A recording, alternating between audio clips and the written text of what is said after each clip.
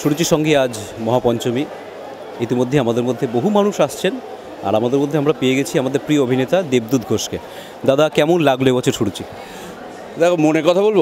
একদম। আচ্ছা বাঙালির যে উৎসব প্রাণের উৎসব সবচেয়ে বড় উৎসব দুর্গোৎসব এখন আমাদের যে দুর্গ উৎসব কলকাতায় হয় বা সব মিলিয়ে যদি বাংলাদেশে যে দুর্গোৎসব হয় সুরুচি সংঘকে বাদ দিয়ে কি সেই উৎসব কমপ্লিট হয়? তো সেটা যেহেতু হয় না সেই জন্যেই প্রতিবারই আসি সুরুচির সঙ্গে এবারও এসেছি।